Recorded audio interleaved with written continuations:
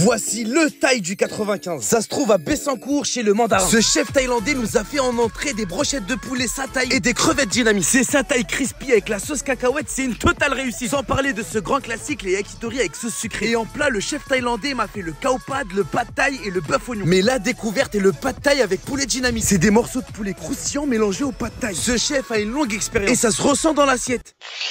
Les autres plats étaient aussi très bons avec des recettes traditionnelles. Les desserts sont originaux comme ce nem à la Nutella. Et en fait, à l'intérieur, il y a de la banane. Et t'as aussi tous les autres desserts originaires d'Asie du Sud-Est. Le mandarin, pour moi, est validé. Je vous mets toutes les infos en description.